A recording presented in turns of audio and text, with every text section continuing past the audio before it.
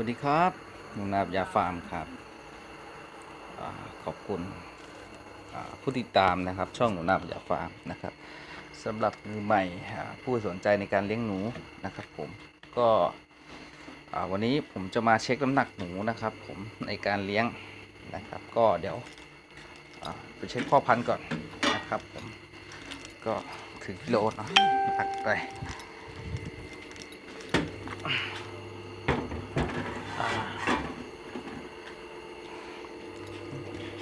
ฟาร์มผมที่ตั้งอยู่ที่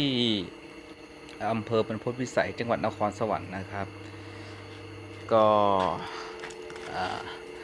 ท่านใดที่สนใจมาเยี่ยมชมฟาร์มก็ได้นะครับยินดีนะครับให้คำปรึกษานะครับ ก็วันนี้มาเช็ค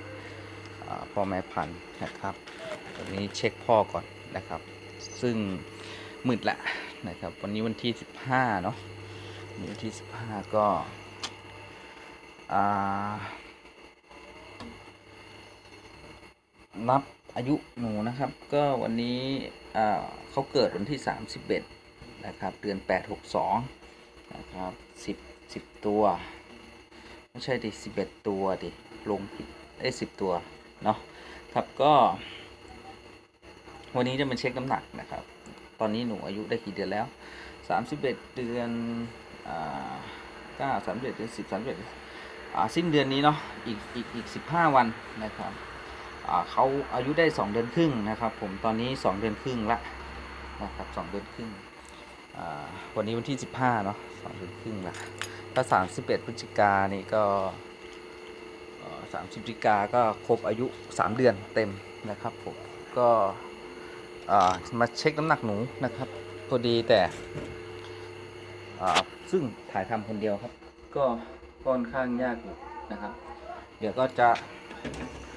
ใช้จับให้ดูก่อนนะฮะ เดี๋ยวก็กล้องแป๊บนึงนะครับผมอ่าสำหรับชุดนี้นะครับ ซึ่งค่อนข้างจับยากหน่อยครับ เพราะว่าผมไม่ได้ทำเชื่องเนาะ ก็ดูดุหน่อยนะครับ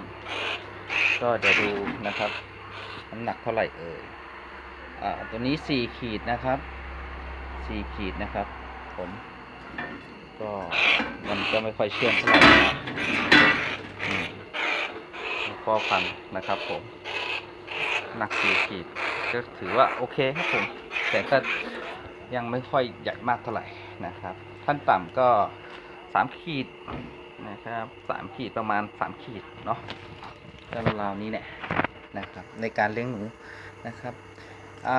า ผมบอกเลยนะครับ ตอนที่เลี้ยงหนูเนี่ย ผมจะจดอายุเขานะครับอายุเนี่ยตั้งแต่เขาเกิดมาแดงๆเลยนะครับ ผมก็เลยจดเลยนะครับ วันแรกเลยที่เขาออกเขาวันแรกที่เขาออกคือ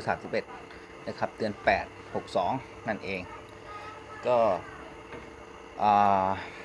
เลี้ยงมานะครับคัดตัวผู้ตัวเมียนะครับ ผมคัดไซส์พันธุ์ที่ใหญ่นะครับบ่อนี้จะมี 10 ตัวนะครับผม 10 ตัว ตัวผู้นะครับ ก็มี 10 ตัว ก็เดี๋ยวอ่าตอนเนี้ยเขาเขาเหมือนแบบอ่าในการเลี้ยงหนูเนี่ยอ่าสำหรับฟาร์มผมนะอ่าที่อื่นที่ที่อื่นผมก็ไม่ค่อยไม่ไม่ค่อยรู้เท่าไหร่นะครับ แต่ผมก็เลี้ยงอ่าอยู่ระดับอ่าออกมาที่แรกก็อยู่ระดับเกณฑ์มาตรฐานเนาะก็อยู่ระดับที่หนึ่งขีดนะครับ ออกประมาณเดือนแรกนะครับ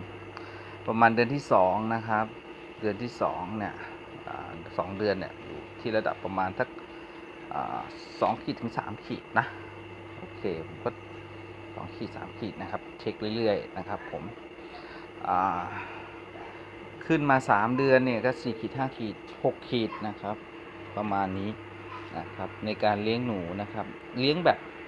เลี้ยงแบบไม่ได้อ่าอัดอาหารอะไรมากมายนะครับไม่ได้เลี้ยงโปรตีนอะไรมาก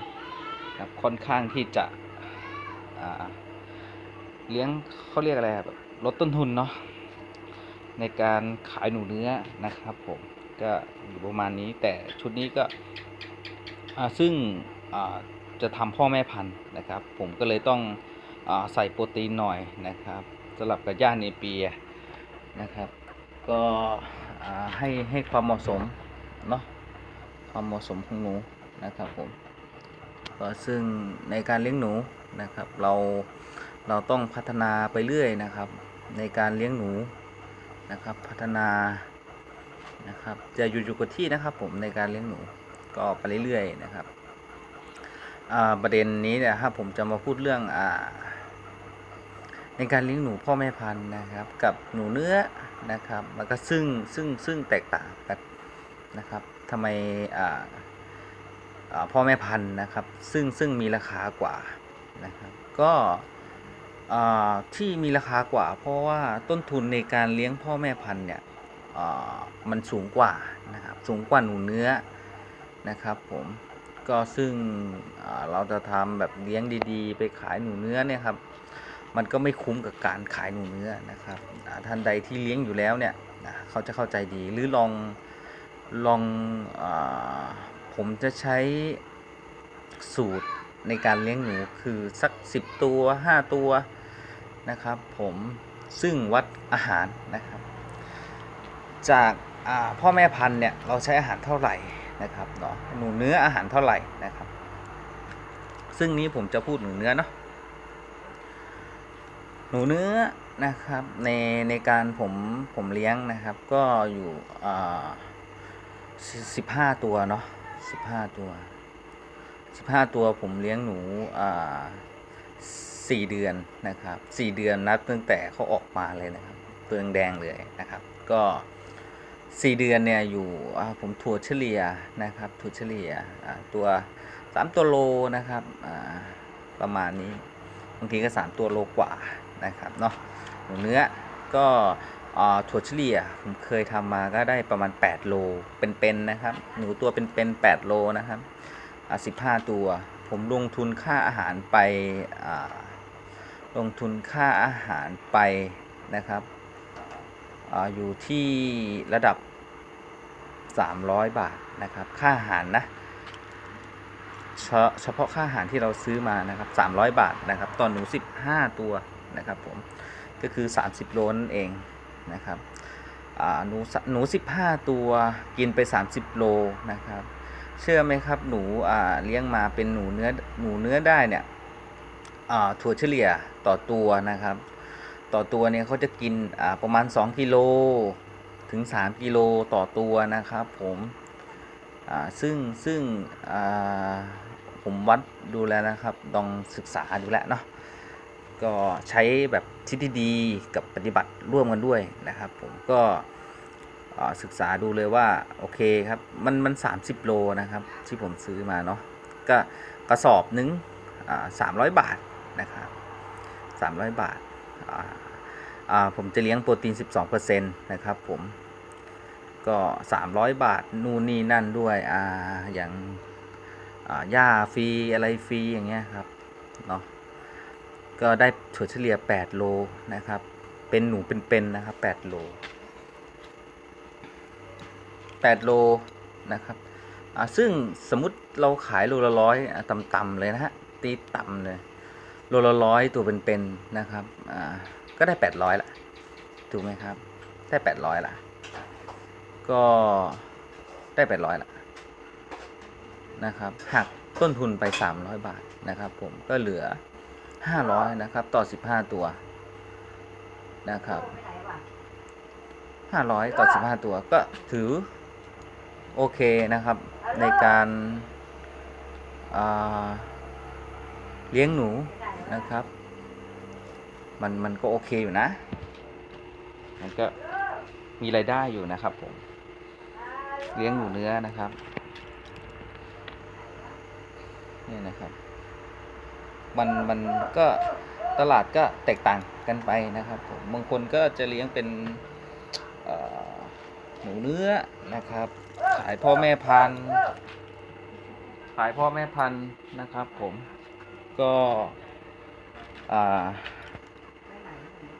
ตอนนี้ผมก็เลี้ยงซึ่งผมทำงานประจำด้วยนะครับ ซึ่งผมทำงานประจำด้วย แล้วก็เป็นรายได้เสริมนะครับผม ในการเลี้ยงหนูนะครับ ก็เลี้ยงไปเรื่อยนะครับ เป็นรายได้เสริมของเรานะครับผมก็วันนี้ก็เช็คหนูพ่อแม่พันธุ์นะครับ ในการเลี้ยงหนูนะครับผมท่านใดสนใจนะครับพ่อแม่พันธุ์ก็สามารถติดต่อสอบถามได้นะครับกับหนูนามยาฟ้านะครับ หรือว่าอ่าติดต่อทางเฟซนะครับ บล็อกกันเข้ามาได้นะครับ ผมชื่อหมูโซดานะครับ ผมก็สามารถพิมพ์เข้าไปนะครับ ลองมาทักทายนะครับท่านใดที่เข้ามาดูในฟาร์มนะครับ ยิ่งดีใหญ่เลยนะครับถ้าดูในฟาร์มจะเห็นของจริงด้วยนะครับ ของจริงในการเลี้ยงหนูนะครับ ผมเราไม่ต้องทฤษฎีครับปฏิบัติเลยนะครับ ผม ก็ปัจจัยสำคัญแรกนะครับในการเลี้ยงหนูก็คือตัวเราเองนั่นเอง นะครับในการเลี้ยงหนูนะครับสิ่งไหนที่ไม่ดีนะครับคิดว่าไม่ดีก็อมองข้ามมองผ่านไปนะครับอ,อันนี้ผมก็จะมาแนะนำนะครับ สิ่งดีๆก็สามารถแบ่งปันความรู้กันได้นะครับ ก็ลองเลี้ยงกันดูนะครับผมกับหนูนาบยาฟาร์มนะครับ ในการตลาด หนูนี่ก็อยู่ที่ผมจะแนะนำให้ให้ให้ขั้นแรกนะครับในในการขายหนูอะยังพูดอีกหน่อยนึงเนาะอ่าในการขายหนูเนื้อนะครับ แนะแนะนำขั้นแรกนะครับ เราต้องเปิดตลาดเองนะครับ ในการขายหนูนะครับผมก็คือซึ่งซึ่งซึ่งการทำตลาดเนี่ย เราทำขายเองนะครับ ขั้นแรกคือขอให้เปิดตลาดก่อน นะครับให้ให้ผู้คนรู้จักว่าเราเลี้ยงหนูมีฟาร์มหนูนะครับมีหนูขายนะครับเราเราเปรียบเทียบหนูหนูดักกับหนูเลี้ยงนะครับ ซึ่งซึ่งทำไมหนูดักเขาจึงขายถูกกว่าเราเนาะประเด็นเลยที่เขาเขาขายถูกกว่าเราคือเขาไปดักมานะครับซึ่งก็เก็บไว้ไม่ได้นานนะครับ ซึ่งมาทำ เขาทำดักเนาะมันตายแล้วใช่ไหมตายแล้วแล้วก็มันต้องรีบขายเนาะเขาก็ต้องขายราคาที่ถูกนะครับ เขาถึงได้ขายเร็วนะครับ เราจะมาเปรียบเทียบแบบหนูเลี้ยงไม่ได้นะครับ หนูเลี้ยงหนึ่งนะครับ มีต้นทุนนะครับสองเวลานะครับในการเลี้ยงการดูแลนั่นเองนะครับผม ก็ซึ่งสมมติหนูเลี้ยงเนี่ยทำไมขายแพงก็มีต้นทุนนั่นเองนะครับผมมีต้นทุนในการเลี้ยงการให้อาหารบริหารจัดการนะครับ ซึ่งซึ่งจะแพงกว่าหนูดักนะครับแพงกว่าหนูดักหน่อยนะครับ ก็ซึ่งว่าถ้าเราขายไม่ได้ยังไม่เป็นไร ก็หนูยังอยู่ในบ่อนะครับยังเป็นอยู่นะครับ ถ้าออเดอร์หนูสั่งมาเราสามารถจัดการได้เลยนะครับ มันมันก็แตกต่างกันไปนะครับ ผมในการเลี้ยงหนูครับ วันนี้ก็ใช้เวลามามากแล้วเนาะเดี๋ยว